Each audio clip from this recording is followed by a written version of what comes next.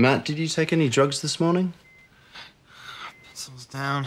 Can you squeeze my fingers for me?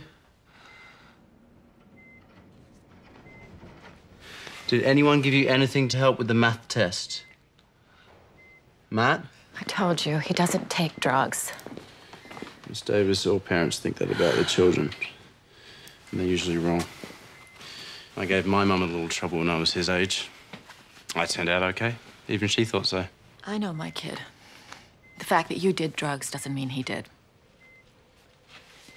Did he go anywhere last night? No. He was home studying. Any friends come over to help him? And bring him drugs? Is that what your friends did? Miss Davis. Look. I tested him myself. The home kit. I took some hair off his brush. I didn't want him to know about it because I do trust him. Then why did you test him? All he did last night was study and argue about his college interviews. He wants to be himself. No haircut, ratty old clothes. That'll go over big. Then we both gave up and went to bed. That's it. Has he ever had any problems like this before? Any family history? No. It's just me and Matt. Diazepam, 10 milligrams, start. Right, what's going on? Taking some precautions. He's seizing. Help me hold him. Stay cool, mate. Calm you down.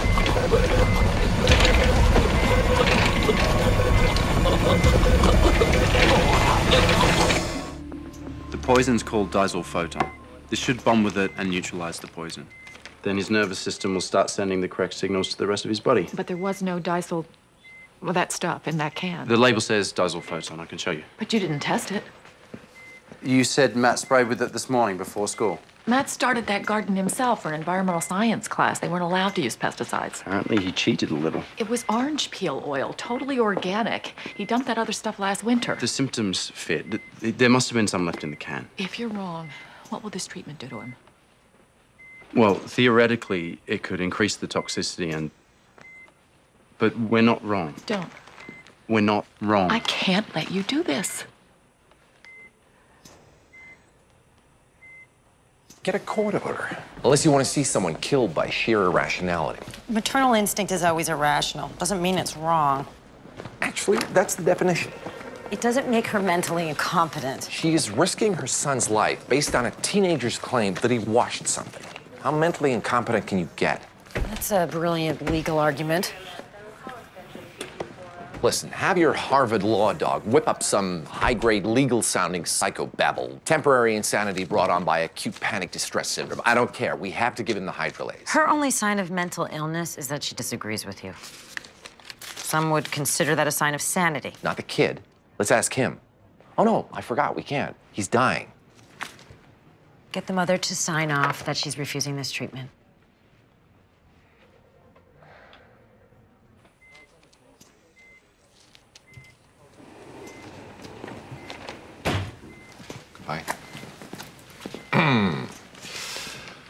I, Margot Davis, have been informed of the risks which may arise from my refusal of advised medical care. I hereby release. Who are you?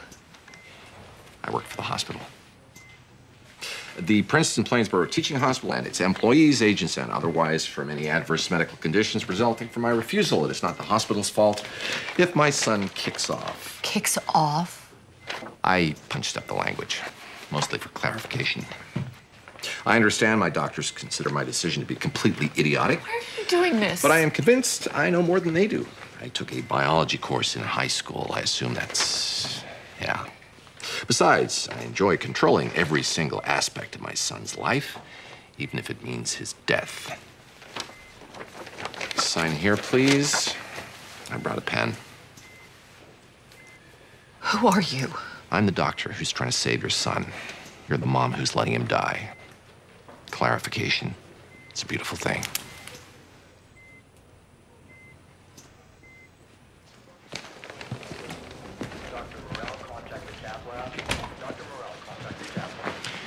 She rethought her position. Start him on the hydrolase. No. We've got a problem. Three, one, two, three. Heart rate's 49. O2 sat, 84 and falling. Saline, atropine, and diazepam now. His name is Ji Ling. He was admitted 12 minutes ago. Identical symptoms as Matt. Chase isn't sure he's gonna make it.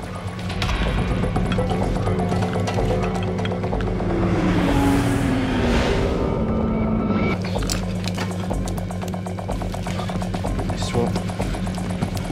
Bag.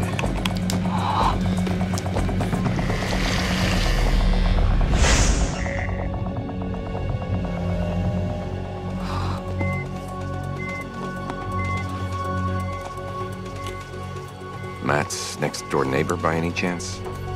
They live 10 miles apart. Apparently, they don't even know each other. The county's worried about West Nile, so they sprayed ethyl parathion right next to the bus route. Do you have the hydrolase for ethyl parathion? Yeah, only one problem. Matt's mother faxes records to the CDC. She refuses to let us do anything until she hears back from them. Well, you're getting good at this godlike doctor racket. Why don't you talk her out of this lunacy? She's not really a big fan of mine. All mine. Well, only one man left in the bullpen, and he throws like a girl.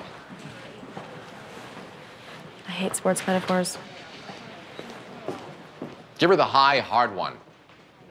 We really think the hydrolase is the only. I'm thinking about transferring that out of here. Miss Davis, your son is very sick. He won't survive a transfer. I'm getting a second opinion from the Center for Disease Control. Right. Look, when my grandmother got sick. What? You're gonna tell me some tough decision you had to make?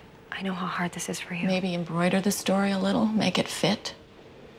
I can't imagine being in your position. Honesty, a kind of vulnerable honesty. That's your thing. And the looks. Oh, Boy. They send a single woman to hustle the single mom. Actually, they sent a doctor to tell you that if your son doesn't get this treatment, there's a good chance he'll die. That's what Hal said about a treatment that would have killed Matt. You've got to do better than that. No. It's on you. You need to do better. Right now. Yes or no? I don't know. Figure it out. Wait.